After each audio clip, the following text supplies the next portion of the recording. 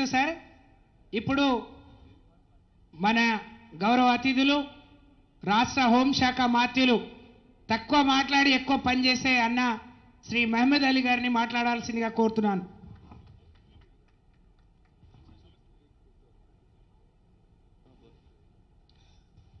సభా అధ్యక్షులు honourable minister Satyavathi లాడర్ గారికి మా dynamic party worker party working president IT minister municipal minister industry minister Shri KT Rama Rao గారు ఈరోజు చీఫ్ గెస్ట్ ఉన్నారు. మా అన్న ఆనరబుల్ మినిస్టర్ దయాకర్రావు గారికి honourable MLA MP Kavitha madam గారికి ఎమ్మెల్యే గారికి ఎమ్మెల్సీ గారికి వేదిక మన చైర్మన్స్ గారికి జెడ్పీటీ ఎంపీటీసీ కార్పొరేటర్స్కి ఈ ప్రోగ్రాంలో వచ్చిన అక్క చెల్లెళ్ళకు అన్న తమ్ముడులకు మీడియా మిత్రులకు అందరికీ పేరు పేరుతో నమస్కారము సలాము. ఈరోజు ఈ బహిరంగ సభలో తెలంగాణ వచ్చే తర్వాత మా ఆనబుల్ సీఎం గారు ఏం చేశారు? ఈ ములుగు అంటే ఇంతకుముందు నిజా నిజాం ఇస్టర్లో తాలూకా ఉంది. తెలుగుదేశంలో డిస్టిక్ మండల్ అయింది మా ఆనబుల్ సీఎం గారు డిస్ట్రిక్ట్ చేశారు. మా ఆనబుల్ సీఎం గారు తెలంగాణ కోసం ఫోర్టీన్ ఇయర్స్ పోరాటం చేశారు. పోరాటం చేసే తర్వాత తెలంగాణ వచ్చే తర్వాత అంతకుముందు మన దగ్గర పది డిస్టిక్ ఉంది. హైదరాబాద్ ఒకటి డెవలప్ డిస్టిక్ ఉంది. తొమ్మిది డిస్టిక్ మొత్తం బ్యాక్వర్డ్ డిస్టిక్ ఉంది. ఆ టైంలో అందరూ ఆల్ పార్టీ లీడర్స్ ఒకటి మాట చెప్పారు.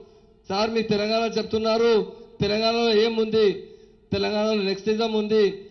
తెలంగాణలో ఫార్మర్ సూసైడ్ చేస్తున్నారు. తెలంగాణలో పవర్ లేదు. తెలంగాణ చాలా బ్యాక్వర్డ్ ఉంది. మా ఆనబు సీఎం గారు ఆ రోజు ఒకటి మాట చెప్పారు. తెలంగాణ వచ్చిన తర్వాత మరి చూపిస్తా. తెలంగాణ ఎట్లా డెవలప్ అవుతుంది టూ థౌజండ్ ఫోర్టీన్ తర్వాత మొత్తం డెవలప్మెంట్ వస్తుంది. Congress forty seven year rule చేశారు. ఏం చేశారు? ఏం డెవలప్మెంట్ చేయలేదు.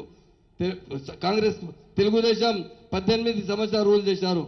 మొత్తం అరవై ఐదు సంవత్సరాలు మొత్తం తెలుగుదేశం కాంగ్రెస్ పవర్లో ఉన్నప్పుడు ఏం చేయలేదు. మొత్తం డిస్టిక్ బ్యాక్ ఇది మండల్ బ్యాకర్డ్ ఉంది. మా అనబుల్ సీఎం గారు వచ్చిన తర్వాత ఆల్ డిస్టిక్ చాలా డెవలప్ చేశారు. మా సీఎం గారు రైతు బంధు రైతు బీమా స్కీమ్ ఇచ్చారు. ఇండియాలో ఎక్కడ లేదు. ఒక్క ఎకరికి పదివేల రూపాయలు ఇస్తున్నారు. రైతుకి ఒక మంచి చలిపోతే అంటే ఐదు లక్షల రూపాయలు ఇన్సూరెన్స్లో ఇస్తున్నారు.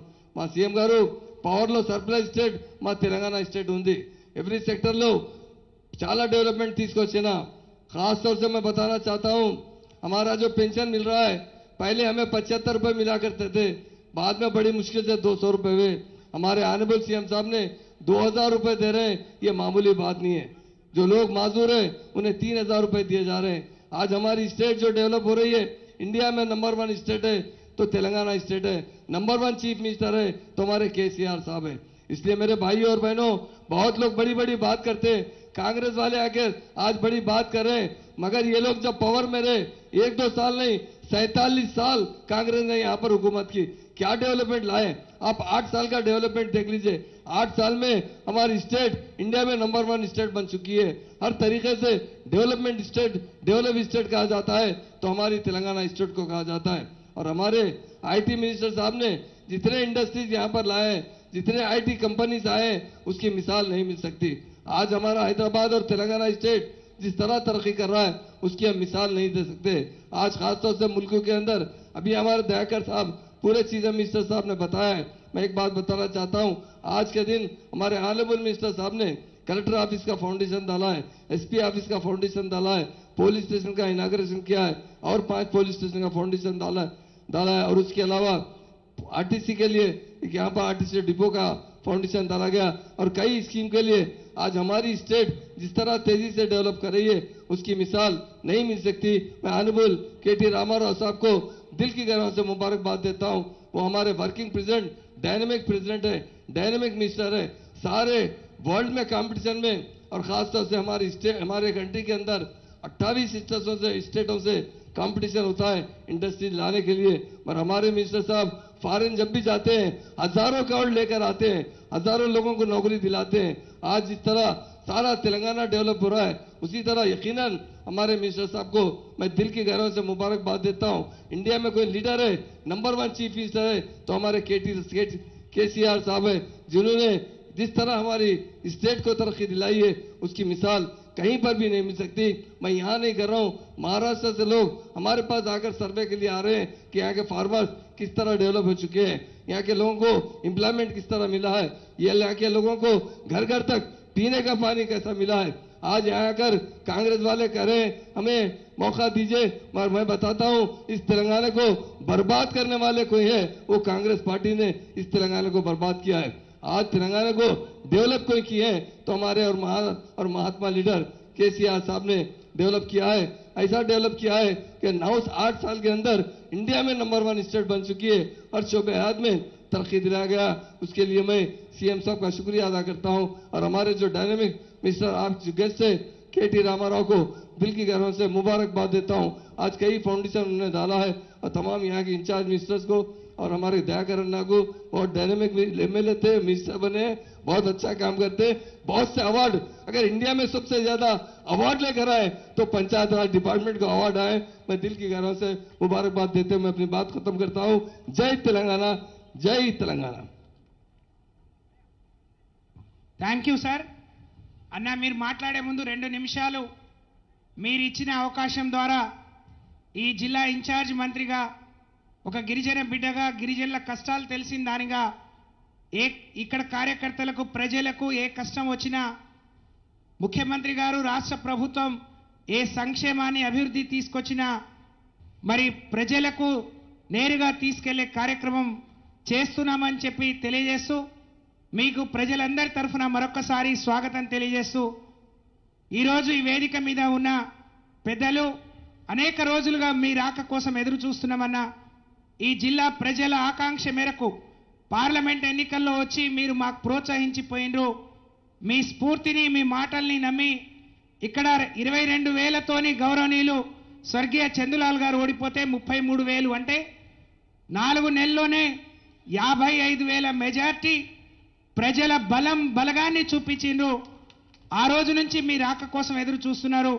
మీ రాక ఈ ప్రజలకు ఎంతో ఉత్సాహాన్ని ఉత్తేజాన్ని సంతోషాన్ని ఇచ్చిందని చెప్పి వారందరి తరఫున మీకు హృదయపూర్వకంగా స్వాగతం తెలియజేసుకుంటూ మరో ముఖ్య అతిథి మరి పెద్దలు మహమ్మద్ అలీ గారు పెద్దలు ఎర్రబెల్లి దయాకర్ రావు గారు గౌరవ పార్లమెంట్ సభ్యులు కవిత గారు అన్న పల్లా రాజేశ్వర్ రెడ్డి గారు సోదరుడు జగదీష్ గారు అన్న పెద్ది సుదర్శన్ రెడ్డి గారు గౌరవనీయులు కలెక్టర్ గారు గండ్ర జ్యోతి గారు జిల్లా పరిషత్ చైర్మన్ భూపాల్పల్లి గారు గౌరవనీయులు అన్న ప్రకాష్ గారు అన్న శ్రీనివాస్ రెడ్డి గారు మా అన్న సీతారాం నాయక్ గారు సోదరుడు సతీష్ గారు వాసుదేవ్ రెడ్డి గారు అన్న వెంకన్న గారు గోవింద్ నాయక్ గారు బాలసాని గారు హ- హరిబాబు గారు వేదిక మీద ఉన్న గౌరవ ఎస్పీ గారు అడిషనల్ కలెక్టర్ గారు అధికారులు ప్రజాప్రతినిధులు ఇక్కడికి విచ్చేసిన మా సోదర సోదరి మీడియా సోదరులకు మరొక్కసారి స్వాగతం తెలియజేస్తూ అనేక విషయాలు పెద్దలందరూ వివరించి చెప్పారు.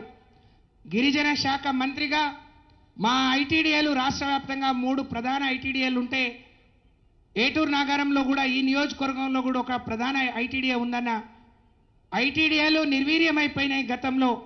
కేసీఆర్ గారి చొరవతోని ముగ్గురు కూడా ఐఏఎస్ ఆఫీసర్లు పనిచేస్తూ ఉన్నారు. గిరిజనులకు సంబంధించి ఇదొక స్వర్ణయుగం అని చెప్పొచ్చు అన్న ఎందుకంటే మొన్ననే ఈ నియోజకవర్గానికి వంద కోట్లతోని రోడ్లకు ట్రైబల్ వెల్ఫేర్ పిఆర్ వంద కోట్ల రూపాయల మంజూరు ఇచ్చుకున్నాం.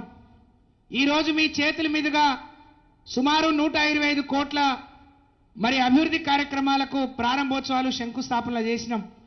ఇంకో నూట యాభై నూట అరవై కోట్ల రూపాయల మరి ఇక్కడ అసెట్స్ డిస్ట్రిబ్యూషన్ ఉందన్న మరి నేను వేరే వివరాలకు పోను. ఈరోజు కవిత గారు చెప్పారు ఏం చేస్తున్నారని దశాబ్ది ఉత్సవాలు చేసినట్టు. మేము అడుగుతా ఉన్నాం ఇక్కడ ఏదైనా మాట్లాడే ముందు ఈ ప్రజలకేం చేసి మరి చేశారో చెప్పాల్సిన బాధ్యత ఎన్నికలు వస్తున్నాయి కాబట్టి ప్రజల ముందుకు వచ్చి అవాకులు చెవాకు మాట్లాడే రాజకీయ పార్టీలను మేము ప్రశ్నిస్తా ఉన్నాం. అన్నా నేను ఆ రోజు చందులాల్ గారు సీతారాం నాయక్ గారు ఎంపీగా ఉన్నప్పుడు మన ముఖ్యమంత్రి గారిని ఒప్పించి ట్రైబల్ యూనివర్సిటీ ఇక్కడికే రావాలని మరి ఆ రోజున్న వైటీసీ బిల్డింగ్ని ఇచ్చిండ్రు. అక్కడ వాళ్ళకి కావాల్సిన అన్ని వసతులు కల్పించడానికి రెండు కోట్ల రూపాయలు కూడా ఇచ్చిండ్రు. నేను వచ్చిన తర్వాత నేను మరి ఇక్కడ ఉండే ఎంపీ గారు జడ్పీ చైర్మన్ కలెక్టర్ గారు మేము కలిసి మూడు వందల ముప్పై నాలుగు ఎకరాలు ఇప్పటికే సెంట్రల్ యూనివర్సిటీకి మరి ఒప్పజెప్పడం జరిగింది. విభజన చట్టంలో హామీ ఇచ్చినట్టు రెండు రాష్ట్రాలకు ట్రైబల్ యూనివర్సిటీలు ఇస్తా అన్నారు. ఆంధ్రప్రదేశ్లో మొదలై రెండేళ్ళయింది కానీ బీజేపీ పాపమా అని చెప్పి మా బిడ్డలకు ఉన్నత విద్య అందుబాటులో లేకుండా ఇక్కడ మాత్రం మొదలు పెట్టలేదు. ఇంకెప్పుడు మొదలు పెడతారో చెప్పాలని చెప్పి ఈ వేదిక నుంచి నేను కేంద్ర ప్రభుత్వాన్ని డిమాండ్ చేస్తా ఉన్నాం. దయాకర్రావు గారు అన్నారు మేడారం జాతర అంటే అందరికీ మెడల మీదకి వచ్చేది భయపడేది. కానీ కేసీఆర్ గారి పుణ్యాన అంటూ నాలుగు జాతరలకు నాలుగు వందల కోట్ల రూపాయలు ఖర్చు పెట్టి వచ్చే యాత్రికులను మరి సరిగ్గా దర్శనం చేసుకొని పోవటానికి వసతులతో పాటు జాతర నిర్వహణ బ్రహ్మాండంగా చేస్తున్నాం. ప్రపంచంలోనే గిరిజన కుంభమేళగా పేరుగాంచిన మేడారం జాతర ఖర్చులు మేం పెట్టినాం అభివృద్ధి మేం చేసినాం జాతర బ్రహ్మాండంగా నిర్వహిస్తున్నాం. ఆ సమ్మక్క సారాలమ్మ తల్లి మరి దివేళ్ళు మా కేసీఆర్ గారికి కేటీఆర్ గారు ఉండాలని మొక్కుతున్నాం. కానీ దాన్ని జాతీయ పండగ గుర్తించమని చెప్పాం. మీకు ఆ మనసు కూడా రాలేదు. డెబ్బై ఐదేళ్ళలో ఎక్కువ రోజులు ఈ దేశాన్ని పాలించింది కాంగ్రెస్ పార్టీ. ఇక్కడి నుంచి కూడా చాలా మంది కాంగ్రెస్ నాయకులు ఉన్నారు. వాళ్ళని అడుగుతా ఉన్నాం. మరి ఈరోజు అభివృద్ధి మరి ములుగు నాలుగేళ్ళుగా నేను ఇన్ఛార్జ్ మంత్రిగా చూస్తుంటే ఒక బుడ్- బిడ్డ పుట్టి పెరిగి బుడిబుడి అడుగులతో బ్రహ్మాండమైన వృద్ధిలోకి వచ్చినట్టు కనిపిస్తా ఉందన్న ములుగు. ఈరోజు ములుగులో ఏటూరు నాగారంలో జరిగి దొరికే వైద్యం మరి హైదరాబాద్లో దొరికే వైద్యం ఇక్కడ దొరుకుతుంది. అది కేసీఆర్ గారి పుణ్యం వారి చెలవ వారి ప్రేమ అని చెప్పి ఈ సందర్భంగా తెలియజేస్తా ఉన్నాం. మొన్ననే ఒక సీనియర్ ఐఏఎస్ ఆఫీసర్ ఆంధ్రప్రదేశ్ నుంచి వచ్చిండు. రెండు రోజులకు ఇక్కడ ఉంటే అబ్బుర పడిపోయిండు. ఏటూరు నాగారం వస్తే ఎన్ని రోజులు పడుతుందో అని నేను నాలుగు రోజులు ప్రోగ్రాం పెట్టుకున్నా. ఈ రోడ్లు ఈ అభివృద్ధి చూస్తే పట్టలేనంత సంతోషంగా ఉని నేను అప్పుడు ఇక్కడ పనిచేసిన. కానీ ఇంత మార్పు ఎలా సాధ్యమైంది అని చెప్పి ప్రశ్నిస్తూ ఉన్నారు. అభివృద్ధియే కాదు మరి సంక్షేమాన్ని పేదలకు ముంగిట్లోకి తీసుకెళ్ళాలని. ఈ రాష్ట్రంలో ఎక్కువ తండాలు గూడాలు గ్రామ పంచాయతీ అయితే ఇక్కడ కూడా డెబ్బై ఆరు గూడాలను తండాలను గ్రామ పంచాయతీలుగా చేసుకొని మా బిడ్డలు ఆత్మగౌరవంతో పాలించుకునే గొప్ప అవకాశం ఇచ్చింది కేసీఆర్ గారు. ఇంతెందుకు? డెబ్బై ఐదేళ్ళ తర్వాత కూడా ఈ ప్రాంతంలో అసలు కరెంటు లేని గూడాలు తండాలు మరి త్రీ ఫేజ్ లేనివి అనేకం ఉంటే కేసీఆర్ గారి చొరవ వల్ల ఈ రెండేళ్ళలో మూడు వందల యాభై కోట్లు పెట్టి ఏ ఊరు త్రీ ఫేజ్ కరెంటు లేనిదంటూ ఈ ప్రాంతంలో లేదు అని అంటే అభివృద్ధికి చిరునామా ములుగు అని చెప్పి ఈ సందర్భంగా తెలియజేస్తా ఉన్నాం. మరి ఇలా చెప్పుకుంటూ పోతే మరి ఈరోజు ఈ ప్రాంతంలో ఉండే గిరిజన దళిత పేదవాళ్ళకు మరి ఒక పట్టేడు అన్నం పెట్టాలని ఆలోచన రాలే. ఒక గర్భిణి బిడ్డకు తల్లిదండ్రులు ఏ విధంగా ఆలోచిస్తారో అంతే గొప్పగా ఆలోచించి పెట్టిన ఆరోగ్య లక్ష్మి మేమిక్కడ అదనంగా మరి కేసీఆర్ న్యూట్రిషన్ కిట్ ఇస్తున్నాం. కేసీఆర్ న్యూట్రి న్యూట్రీ కిట్ కూడా ఇక్కడే లాంచ్ చేసుకున్నాం. మరి బ్రహ్మాండంగా ఒక ఏటూరు నాగారంలో హెల్త్ సబ్ సెంటర్ కానీ లేకపోతే సిఎస్సి కానీ డయాగ్నోస్టిక్ హబ్ను లేకపోతే డయాలసిస్ సెంటర్ను తీసుకొచ్చుకున్నాము అని అంటే ఎంత అభివృద్ధి సాధించామో దీన్ని బట్టి అర్థమవుతుంది. స్వయంగా ముఖ్యమంత్రి గారు జూలైలో వరదలు వచ్చినప్పుడు ఇక్కడికి వచ్చినప్పుడు అన్న దీన్ని మున్సిపాలిటీ చేస్తాను అని ఇక్కడ బస్ డిపో ఇస్తాను అని చెప్పి చెప్పారు. ఆ మీ చేతుల మీదుగా ఈరోజు బస్ స్టాండ్కు మరి మేడారం జాతరప్పుడు ఎక్కువ బస్సులు వస్తాయి కాబట్టి బస్ డిపో వచ్చే వరకు ఇంకో బస్ స్టాండ్ అదనంగా ఊరు బయట పెట్టాలని. మరి ఈరోజు గట్టమ్మ తల్లిని మొక్కి అందరం వస్తాం. గట్టమ్మ వరకు అడవి మాత్రమే కనిపించేది.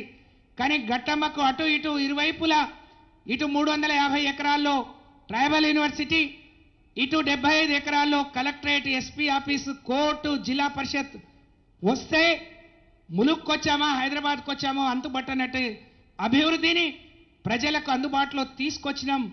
మరి ఆ కృతజ్ఞత మరి ములుగు ప్రజలకు ఉండాలి.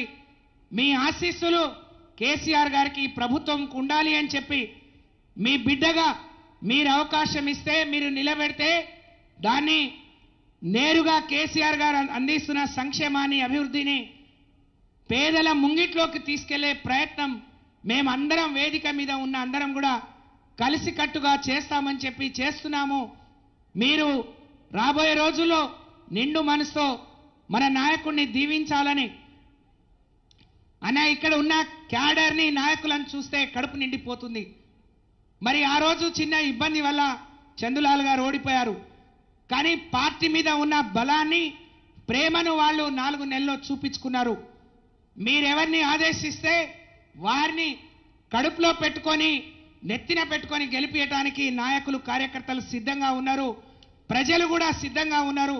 ఆ పని త్వరగా చేయాలని ఎవరినిచ్చినా వెంట పెట్టుకొని కేసీఆర్ గారు ఇస్తున్న సంక్షేమ ఫలాల్ని వాళ్ళకు చేరవేసే విధంగా మేము వారధులుగా పనిచేస్తామని చెప్పి తెలియజేస్తూ అన్ని విషయాలు మీరు మాట్లాడాలని ఈ రాక్ మీ రాక మా అందరికీ సంతోషం. మరి రాష్ట్ర భవిష్యత్తు ఆశాజ్యోతిగా ఈ రాష్ట్ర ముఖ చిత్రాన్ని ప్రపంచ పటంలో ముందు నిలిపిన మీరు ఈ ము- ఉమ్మడి జిల్లా మరి పార్టీకి నాయకుడికి ఎప్పుడు అండగా ఉంది వాళ్ళందరినీ కాపాడుకునే ప్రయత్నం మీరు చేయాలని మీకు రెండు చేతులు జోడించి వేడుకుంటూ మీరు ఈ సభను ఉద్దేశించి ప్రసంగించాల్సిందిగా ఆహ్వానిస్తూ సెలవు. జై హింద్ జై తెలంగాణ జై కేసీఆర్. జై తెలంగాణ.